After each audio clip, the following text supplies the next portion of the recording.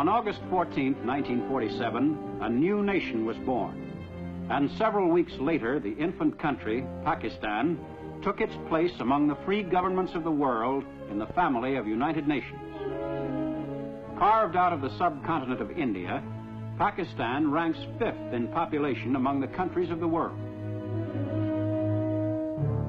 Its land area is split into two non-contiguous geographical units in the eastern and western sections of what had been Britain's Indian Empire. For thousands of years, even before the time of Alexander the Great, the Khyber Pass has been the traditional gateway to the subcontinent. Today, this ancient route of the invader leads to the border of the free nation of Pakistan. Centuries before the birth of Christ, the Khyber Pass was one of the most important trade routes between Central Asia and India. Caravans still traverse the passage in much the same manner as they did 2,000 years ago. Along the route, fortified villages offered secure shelter to travelers who were under constant threat of attack by marauding tribesmen. Most of the traveling bands that set out to make the difficult trip across the craggy defile were usually well loaded with goods that could bring a considerable price once their destination was reached. As elsewhere in Asia, religion has been a dominant influence in the area which is now Pakistan. After the creation of the new Muslim nation, believers in Islam poured in from India in great numbers. And today, of the 80 million inhabitants of Pakistan, 68 million are Muslims. The people of Pakistan represent a variety of racial stocks. Present-day Pakistanis may trace their ancestry back to Indo-Aryan, Semitic, Mongol, and Dravidian peoples. The average Pakistani is today a swarthy, stocky person. The rugged life in the northwest frontier province has made the Pathans somewhat heavier in build and tougher than their neighbors to the south.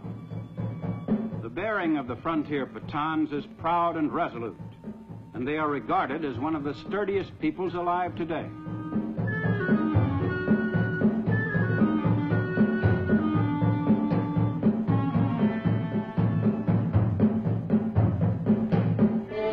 But throughout most of Pakistan, the people lead a less vigorous life. The great majority of Pakistanis live in rural areas. Their daily pattern of existence varies little from the life of their ancestors on the same land generations ago.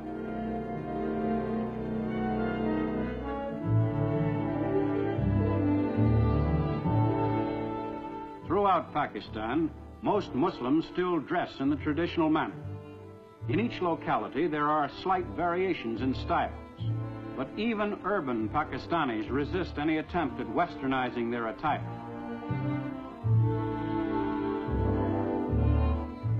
Some women still cover themselves from sight with the ancient burqa. Everywhere, the face of this young nation today gives evidence of its religious heritage, from which the country derives its strength and unity.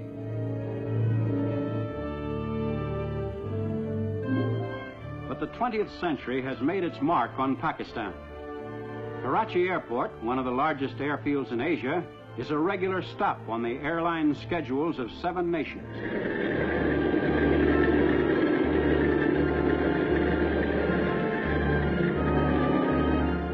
Pakistan, no longer a remote region, is now only a matter of hours from the capitals of Europe. The effects of this link with the world at large are most noticeable in the streets of Karachi, capital city of the young nation. Here, the ancient traditions and customs of the Orient are mixed with modern Western innovations. Seat of the government of Pakistan, Karachi is the hub of an actively functioning democratic state. For Pakistan today is a forward-thinking nation. In the new age of enlightenment, Pakistan's achievements and problems are broadcast to all parts of the land. No longer must Pakistanis be uninformed of their country's development and place in international affairs. Even in the field of journalism, Pakistan has a rich background to draw on and a firm tradition to uphold. In an age in which propaganda is triumphing over truth in many parts of the world, Pakistan boasts complete freedom of the press.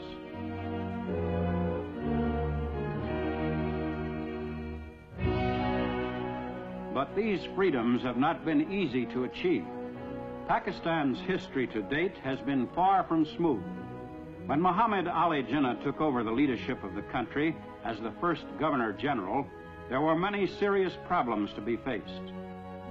The task of rehabilitating the masses of Muslims who had migrated to Pakistan was second in importance only to the deteriorating political relations between Pakistan and neighboring India, also freed from British rule. The open hostility between India's Hindus and Pakistan's Muslims made the new Muslim nation's first years very difficult ones.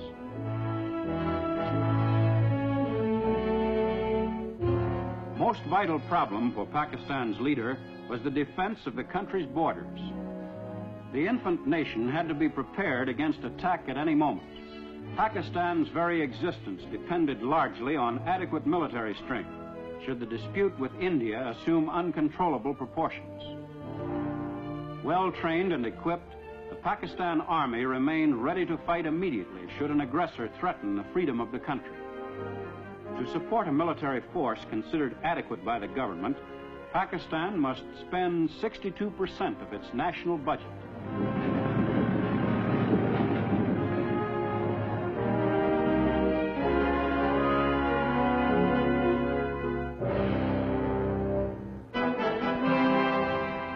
Keep its army well schooled in techniques of modern warfare, Pakistan has retained the services of a number of senior British Army officers.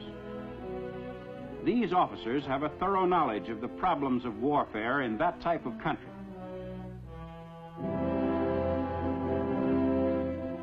As a second line of defense, Pakistan has encouraged voluntary enlistments in its National Guard, equipped and trained under the supervision of the Pakistan Regular Army.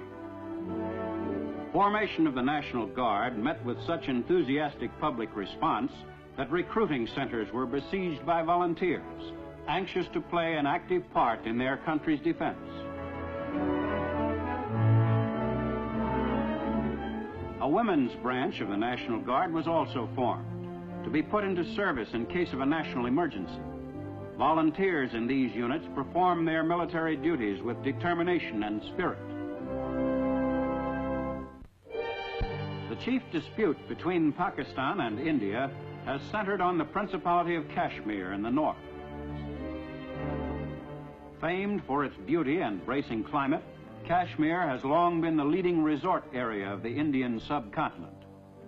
Because of its strategic location between Central and Southern Asia, Kashmir has been of vital importance to the nations which adjoin it. Behind its peaceful exterior, Kashmir has been a land of conflict. With partition, its Muslim majority was determined to join Pakistan, while its Hindu government acceded to India.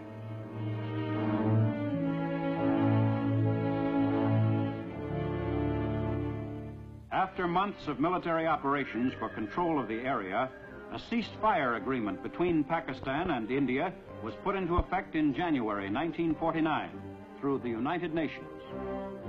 In April 1950, relations between Pakistan and India were improved considerably by meetings between the prime ministers of the two nations, Liaquat Ali Khan and Jawaharlal Nehru.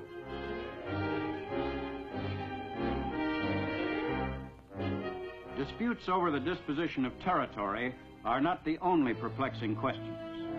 West Pakistan is one of the most extensively irrigated areas in the world. But the headwaters of the rivers which feed that system are in Kashmir and in India. If the principal flow of these rivers were lost to Pakistan, large areas of the country now fertile would become arid.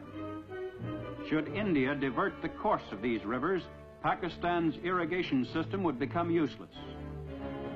Since Pakistan is chiefly an agricultural nation, such a move on India's part would be ruinous to the economy of the country as a whole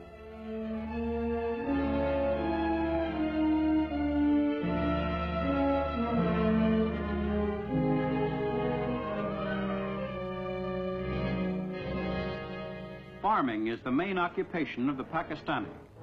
About 90% of the people are engaged in cultivation of the land or in animal breeding. Pakistan's farmers, most of whom own the land they work, are now being advised by the government on modern techniques but in general, they still use time-honored methods and ancient implements.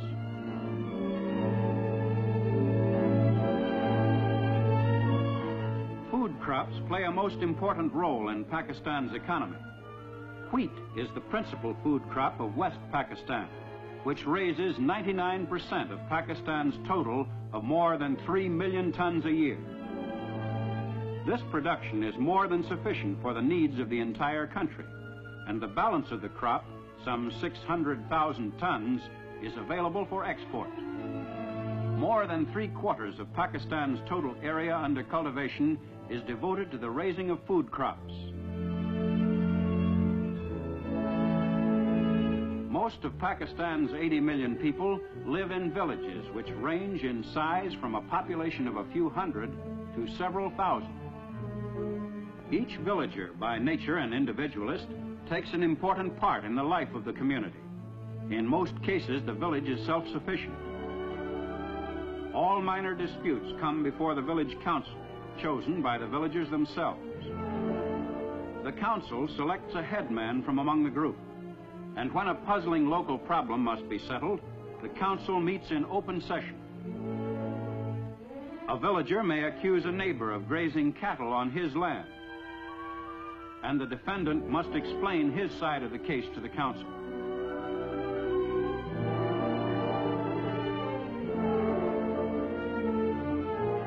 The young nation's concern for its people is everywhere apparent.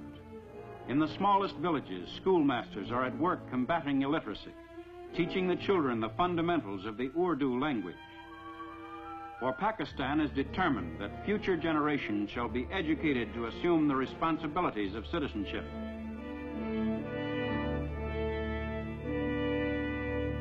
One of the favorite forms of relaxation in the villages is a game of volleyball, a popular sport throughout Pakistan.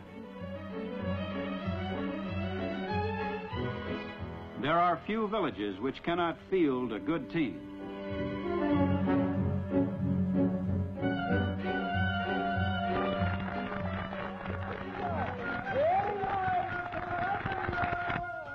Once the chores of the day are finished, the villagers can enjoy the tunes of itinerant musicians who roam the countryside, entertaining the people who work the soil.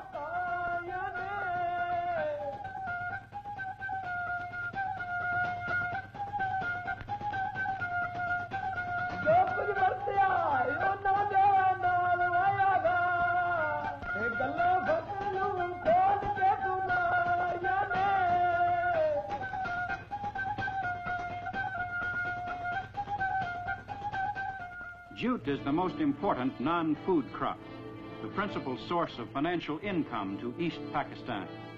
Called the golden fiber of Pakistan, jute is used for sacking and in carpets, linoleum, and upholstery.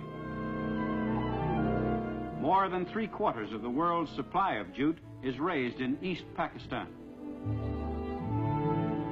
Because the nation was left without a jute mill when British India was partitioned, the fiber could not be processed in Pakistan. Pending the construction of mills, Pakistan exports the raw fiber. All of East Pakistan's exports are funneled through the deep-water port of Chittagong on the Bay of Bengal. Through this port are routed also all shipments bound for West Pakistan, the only surface supply route between the two sections of the country. At Karachi, principal port of West Pakistan on the Arabian Sea, the ships of the great maritime nations discharge their cargoes of machinery.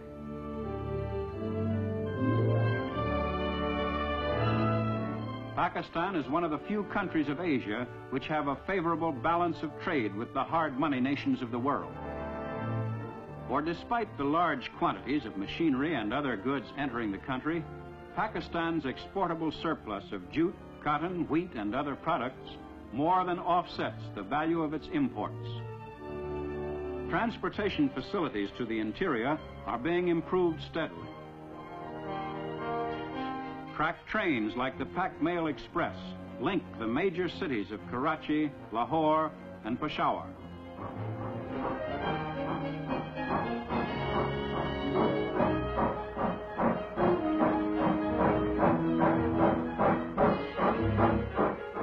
Since most of Pakistan's railways fell under the classification strategic at the time of partition, the government had to maintain them without adequate financial return.